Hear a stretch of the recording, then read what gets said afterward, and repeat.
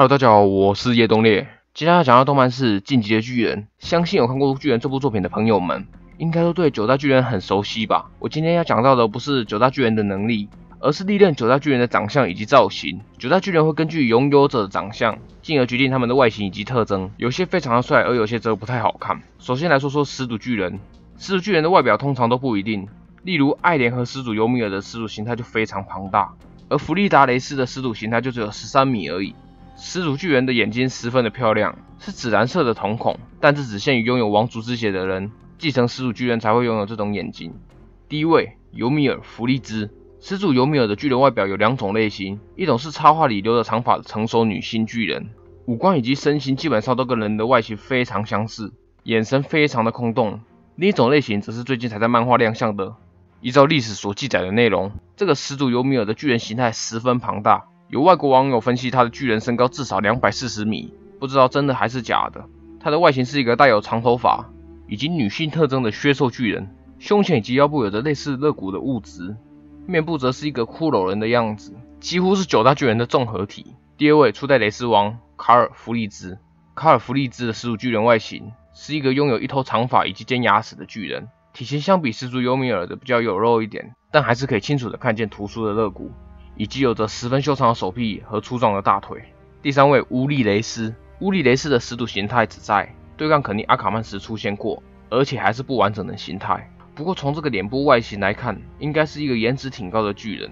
第四位弗利达雷斯，相信弗利达的始祖形态大家都应该印象十分深刻吧？他的巨人外形拥有十分明显的女性特征，一头黑长直的秀发，身材又非常的好，尤其是欧派的大小更是超越了女巨人。不过脸部方面就没有作为人类时的脸那么好看，巨人形态的脸看起来比较凶恶和老一些。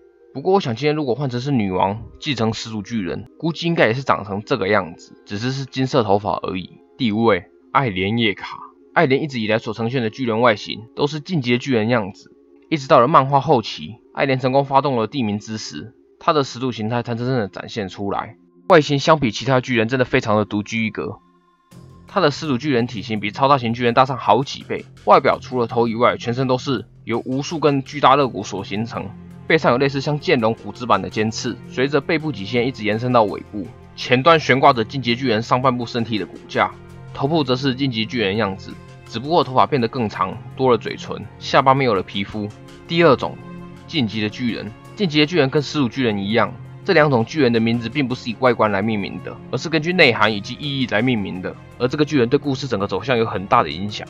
第一位爱莲叶卡，爱莲进阶巨人的形态可说是它本身标志性的代表。身高为十五米级，外表是一个长着精灵耳朵的长脸巨人，有着绿色的眼睛以及类似裂口女的嘴巴，没有嘴唇，牙齿呈现不规则的锯齿状排列，舌头很长，体型非常的精壮。第二位古力夏叶卡，古力夏的进阶巨人又称为多毛巨人。正是因为古力下的巨人形态，拥有浓密的胸毛、长发以及胡子，他跟爱莲一样有着精灵的耳朵，体型比爱莲还要壮硕许多，整体看起来有点像维京人。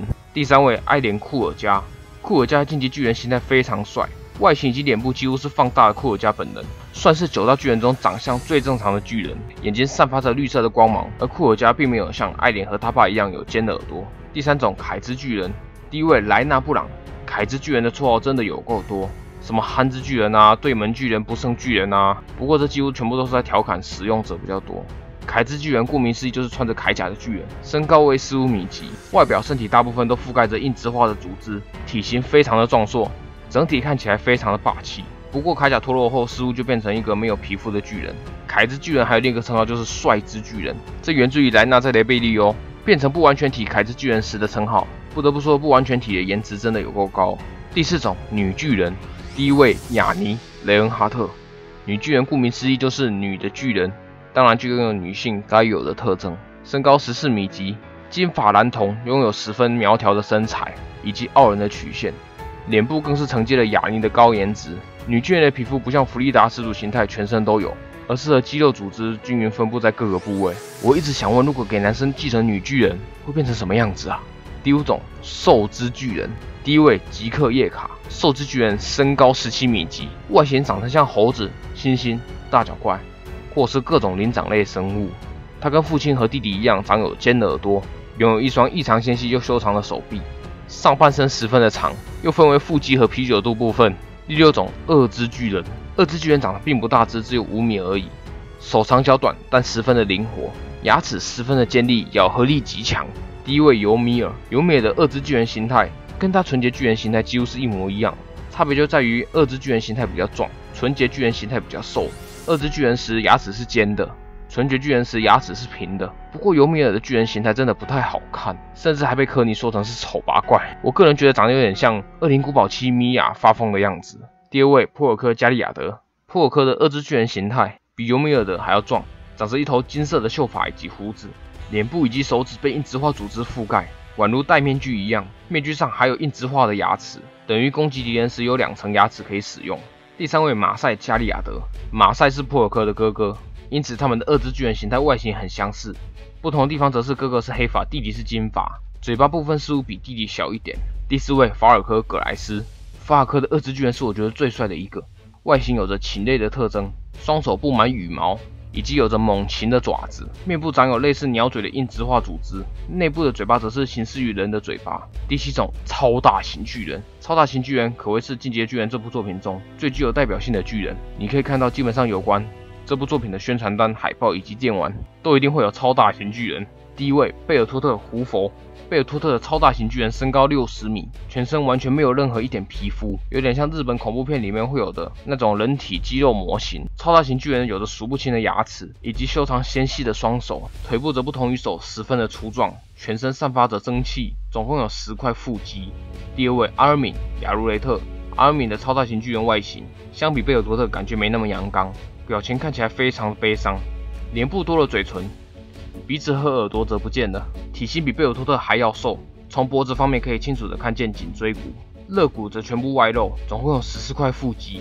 至于其他部分则跟贝尔托特差不多。第八种车力巨人，第一位皮克芬格尔。车力巨人又称为四脚爬行巨人，外形嘴巴长长的像马一样，拥有一双秀丽的眼睛以及乌黑的头发，只有四米高而已。很多人都说车力巨人长得不好看。其实我倒觉得还蛮可爱的。如果车力出公仔，我一定给他买下去。第九种战锤巨人，第一位威力代巴的妹妹。战锤巨人拥有跟季节巨人一样精壮的身材，但战锤的全身都被白色皮肤所覆盖，半个脸部以及眼睛微微露出，像戴着一个监狱形状的面具一样。手拿着一个长棍形的锤子，能够硬直化制造许多不同的武器。等等，我还没有说完呢。第四种矮之巨人，身高一米六，留着一头中分、死鱼眼的帅哥。除了这几种造型外，另外我再附上一张更远古的九大巨人外形大集合。那么以上就是历代九大巨人的所有外形。如果喜欢我的影片的话，请把按个订阅，并且追踪 IG 以及 FB。我是李登磊，我们下次再见。